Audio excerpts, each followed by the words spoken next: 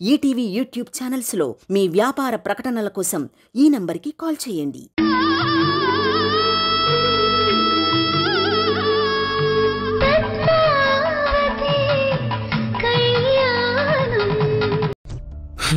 మిమ్మల్ని చూసి జాలిపడాలో? మీకిలాంటి పరిస్థితి వచ్చిందని బాధపడాలో అర్థం కావటం లేదు పద్మావతి.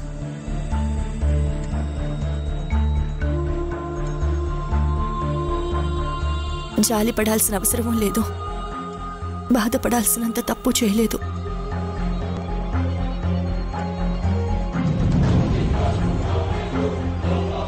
తప్పు చేశారు పద్మావతి. అబద్ధపు నిందని మీ మీద వేసుకొని మీరు చాలా పెద్ద తప్పు చేశారు.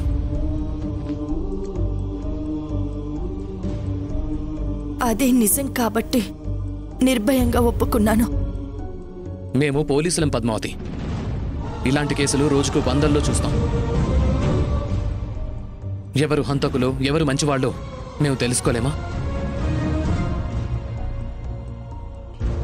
కానీ అన్నీ తెలిసినా కొన్నిసార్లు మేము ఏమీ చేయలేని పరిస్థితి. ఎందుకంటే మేము చట్టానికి బద్దులం. ఏం చెయ్యాలన్నా దానికంటూ ఒక ప్రొసీజర్ ఉంటుంది. అందుకే మీ విషయంలో కూడా సైలెంట్గా ఉండాల్సి వస్తోంది. సంపత్ హత్య జరిగిన చోట మీకు సంబంధించిన ఆధారాలు దొరికాయి కాబట్టే మిమ్మల్ని సస్పెక్టెడ్గా భావించి అరెస్ట్ చేయాల్సి వచ్చింది. ఆ హత్య చేసింది నేనే అని మీరు చెప్పినా మా అందరికీ తెలుసు. అది మీరు చేయలేదని.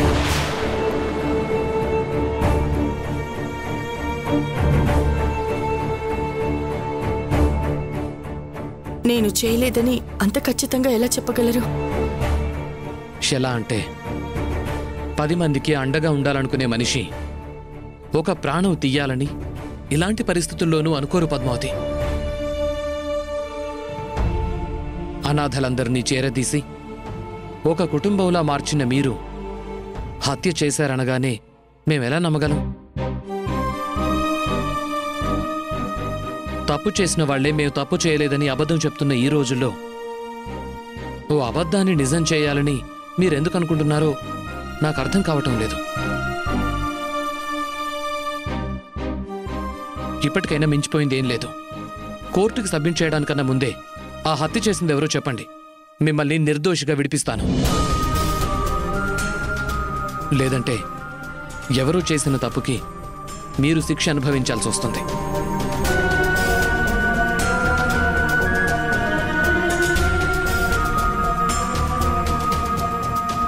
సార్. మిమ్మల్ని కలవడానికి ఆదిత్య కేశవ్ గారు వచ్చారు.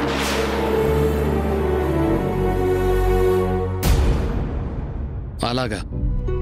వస్తున్నాను చెప్పు. Okay sir.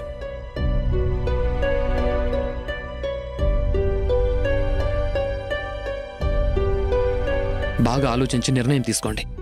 ఎందుకంటే మన భవిష్యత్తు ఎలా ఉండాలో నిర్ణయించేది మన ఆలోచనలు మన నిర్ణయాలు.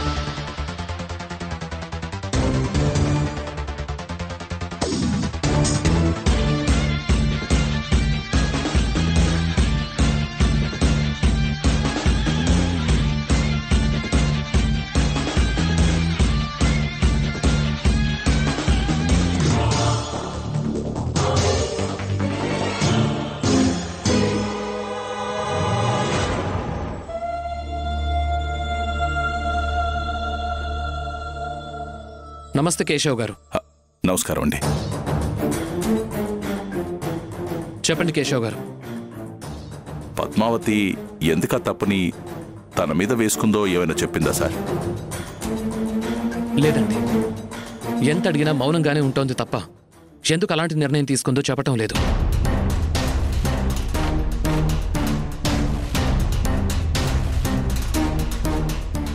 కార్తిక్ గారు ఒకసారి నేను పద్మావతిని చూడొచ్చా? తప్పకుండా ఆదిత్య. కానిస్టేబుల్?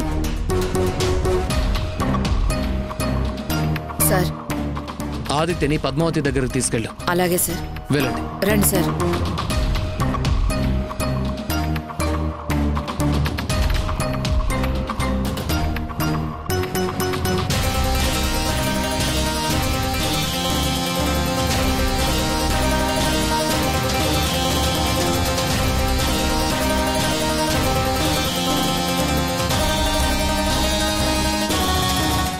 పద్మావతి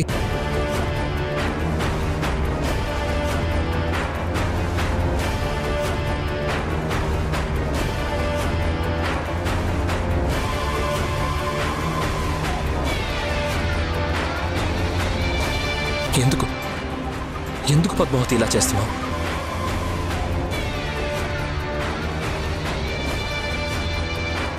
ఎందుకు జరిగిన నిజాన్ని దాస్తున్నావు?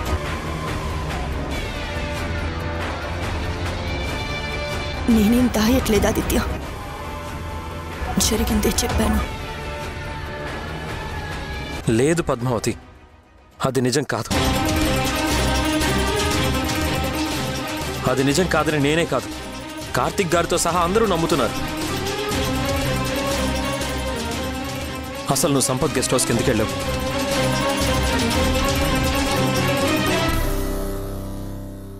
అక్కడ ఏం జరిగింది?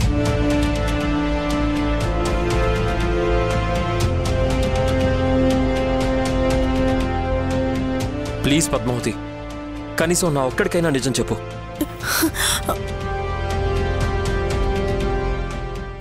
నువ్వు ఇలా సైలెంట్గా ఉంటే నిన్ను మేము ఎలా విడిపిస్తాం?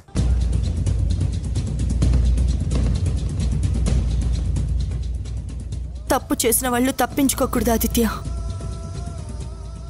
శిక్ష అనుభవించాలి. అందుకే నా తప్పుని నేనే ఒప్పుకున్నాను. అంటే? ఆ హత్య చేసింది నువ్వే అని ఫిక్స్ అయిపోయావా పద్మావతి? అవును బావగారు. అయితే ఆ హత్య ఎందుకు చేశావో కారణం చెప్పు.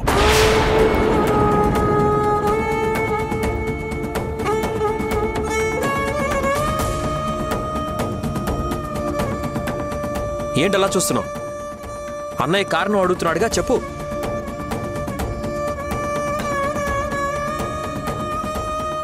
చెప్పలేను బావగారు. చెప్పాలమ్మా. ఎందుకంటే ఇప్పుడు నువ్వు మా ఇంటి మనిషివి.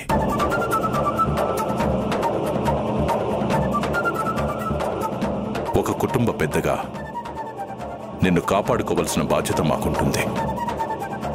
నాకు బాధ్యత ఉంది కాబట్టే చెప్పలేను అంటున్నాను.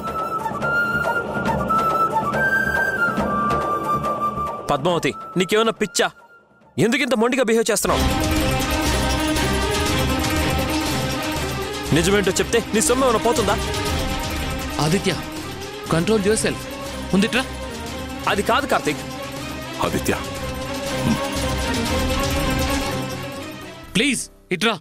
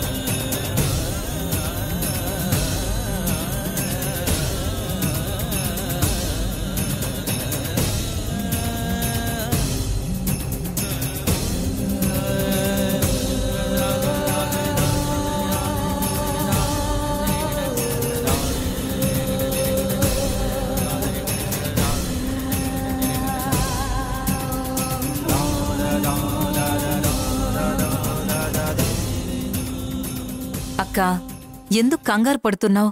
బావగారు వెళ్ళారు కదా పద్మావతిని తీసుకొచ్చేస్తారు. నువ్వేం టెన్షన్ పడుకు. టెన్షన్ పడకుండా ఎలా ఉంటాను వైష్ణవి?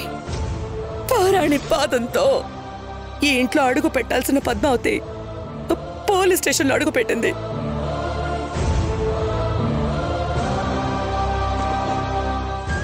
ఇప్పుడు మనమంతా ఆనందాల్లో మునిగి తేలాల్సిన సమయంలో ఇప్పుడు ఇప్పుడు ఏం జరుగుతుందోనని ఎదురు చూడాల్సిన పరిస్థితి వచ్చింది.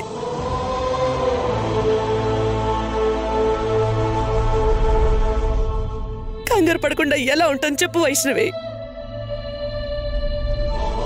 నీ బాధలో అర్థం ఉంది వదినా.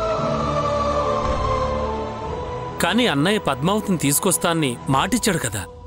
ఏది ఏమైనా పద్మావతిని విడిపించి తీసుకొస్తాడు. మీరు కాసేపు ప్రశాంతంగా ఉండండి.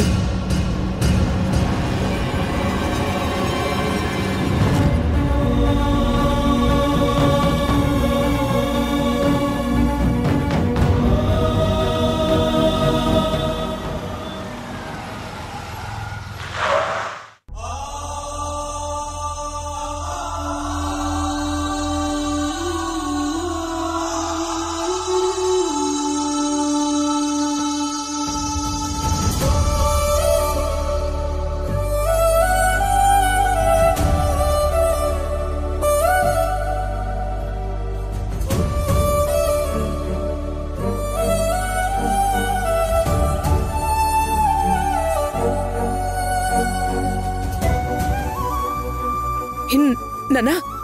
ఏంటన్నా ఒక్కడివే వచ్చావు? మీ మీ అన్నయ్య పద్మావతి ఏరి?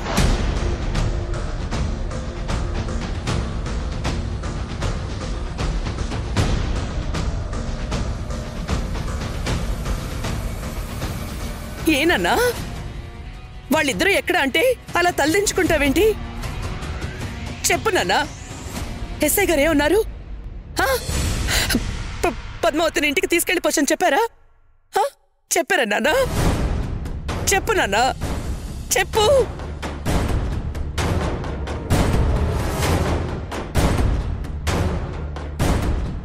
అయినా అయినా అయినా పద్మావతి నీతో ఎందుకు రాలేదు? రాదమ్మా.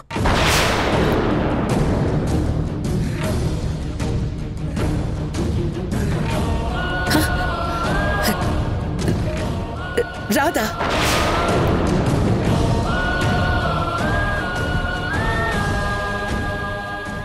ఏమంటున్నావు నాన్న? పద్మావతిని తీసుకురాకుండా మీరేం చేస్తున్నారు? ఎందుకు తీసుకురాలేదు?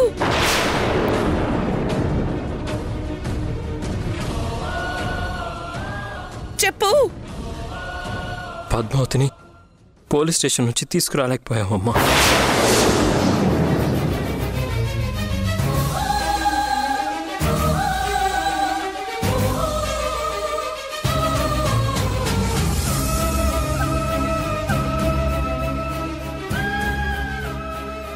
అదేంటి ఆదిత్య? పద్మావతిని విడిపించి తీసుకొస్తామని చెప్పారు కదా. చెప్పాం వదిన.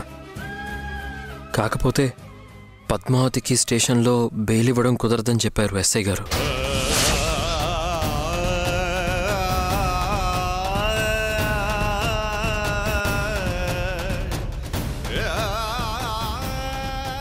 అదేంట్రా? ఎందుకు కుదరదంట? ఎందుకంటే తను అరెస్ట్ అయింది. ఒక మర్డర్ కేసులో కాబట్టి.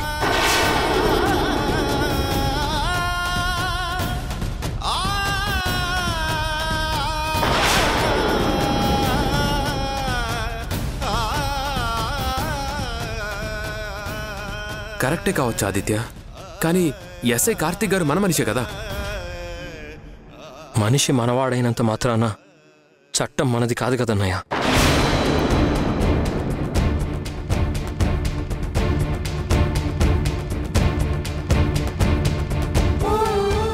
అని పద్మావతిని అలాగే వదిలేసి వచ్చేసారా? ఏదో విధంగా తీసుకురావాలి కదా. తీసుకురావాలని మేము కూడా చాలా ప్రయత్నం చేశామమ్మా. కానీ మా ప్రయత్నాలన్నీ బూడిదలో పోసిన పన్నీరే అయింది. ఏమంటున్నావు ఆదిత్య? అవునదిన. పద్మావతి అసలు దేని గురించి నోరు తెరిచి ఏం చెప్పట్లేదు. అసలు ఈ నిందని ఎందుకు తన మీద వేసుకుందో చెప్తే కార్తీక్ గారిని ఏదో ఒక రకంగా కన్విన్స్ చేయొచ్చని అనుకున్నాను. కానీ పద్మావతి ఏం చెప్పట్లేదు.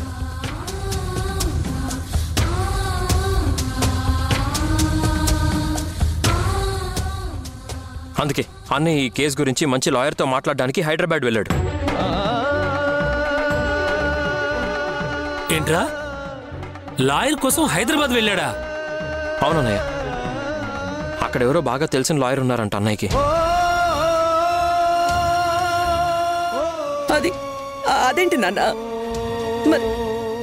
పద్మావతి ఎందుకు ఏమీ చెప్పడం లేదు?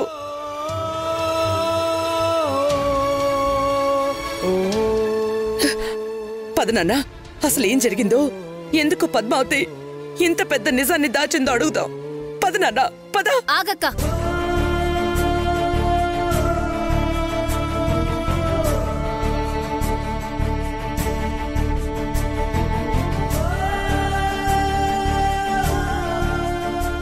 నువ్వు అడిగినా కూడా పద్మావతి నిజం చెప్పదక్కా?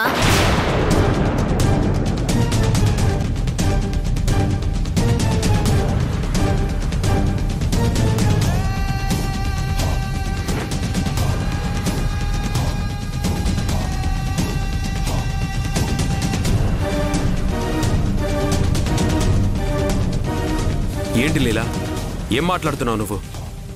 వదిన అడిగినా పద్మావతి ఎందుకు చెప్పదు? ఎందుకంటే ఆ హత్య చేసింది తనే కాబట్టి.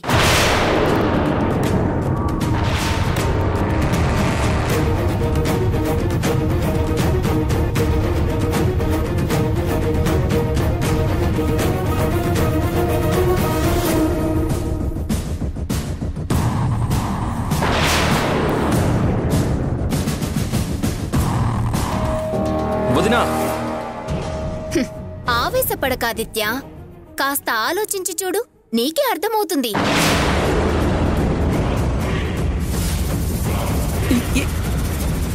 ఏంట్లేలా నువ్వు అనేది? పద్మావతి పద్మావతి హత్య చేయడం ఏంటి? అవునక్క ఈ హత్య ఖచ్చితంగా పద్మావతియే చేసుంటుంది.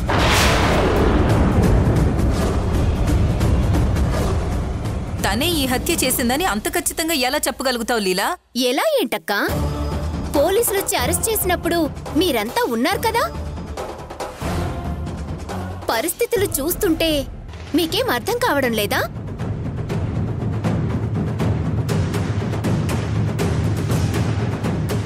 నాకైతే క్లియర్గా అర్థమవుతుంది.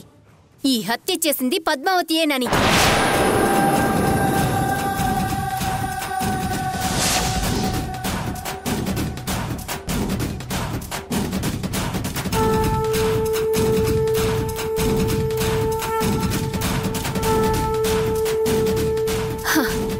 కాసేపు. తాను నిజంగా ఏ తప్పు చెయ్యలేదని అనుకుందాం. ఎవరినో కాపాడ్డానికే ఆ నింద తన మీద వేసుకుంది అనుకుందాం. కానీ అలా చెయ్యాల్సినంత అవసరమేముంది?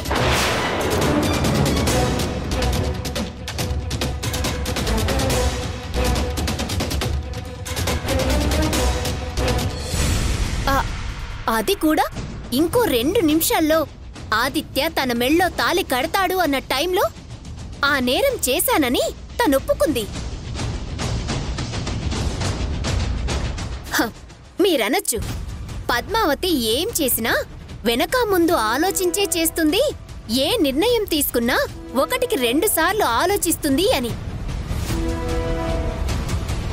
రెండు నిమిషాల్లో పెళ్ళి చేసుకోబోతున్న తను ఇంత పెద్ద నిర్ణయం తీసుకుంది అంటే దానికి రెండే రెండు కారణాలుండే అవకాశం ఉంది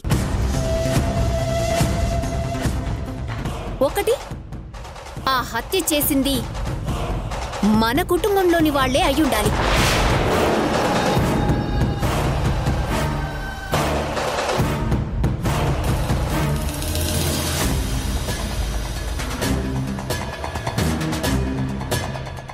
లీలా అలాంటి అవసరం మన ఇంట్లో ఎవరికి ఉంటుంది మన ఇంట్లో ఎవ్వరికీ ఉండదని నాకు తెలుసు వీరేంద్ర.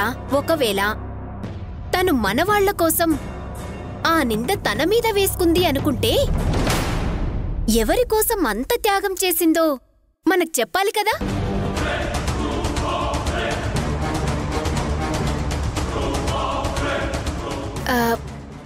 మరి ఎందుకు చెప్పట్లేదు?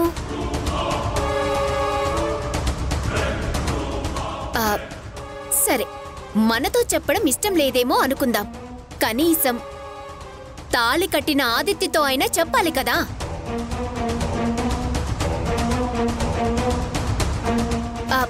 భర్త దగ్గర దాచాల్సిన రహస్యాలైతే ఏముండవు కదా? మరి మనలో ఏ ఒక్కరికి ఎందుకు చెప్పట్లేదు? ఎందుకంటే ఆ హత్య చేసింది తనే కాబట్టి.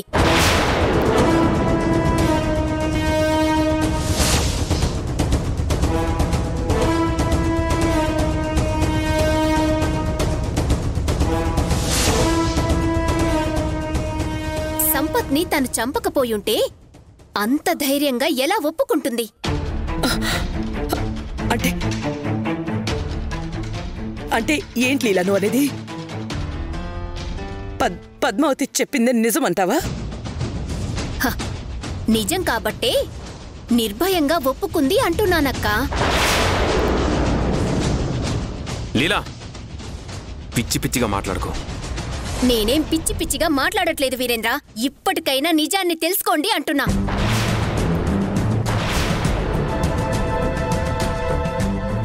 పద్మావతి అంటే నాకు ఏ కోపం లేదు. ఇన్ఫాక్ట్ తనకిలా జరిగినందుకు నాకు చాలా బాధగా ఉంది. కానీ ఏం చేస్తాం? హత్య చేశానని తనే ఒప్పుకున్నాక ఇక మనం కూడా నమ్మాలి కదా?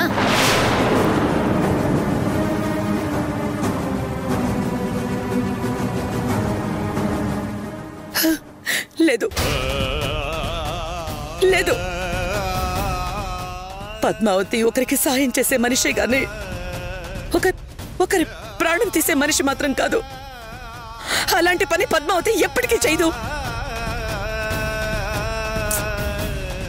తను అలాంటి పని చేసే మనిషి కాదు అని నాకు తెలుసక్కా. కానీ చేసే పరిస్థితి ఏర్పడుండొచ్చు కదా.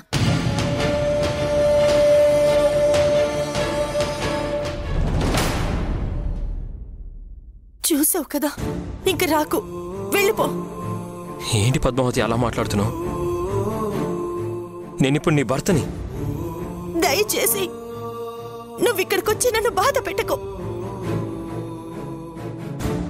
కార్తిక్ గారు అస్తమానం నన్ను చూడ్డానికి ఎవరిని రానివ్వకండి. అది నా భర్త అయినా సరే. ఈటీవీ విన్ యాప్ రోజుకి కేవలం రూపాయి మాత్రమే. ఇప్పుడే ఈటీవీ విన్ యాప్ డౌన్లోడ్ చేసి సబ్స్క్రైబ్ చేయండి.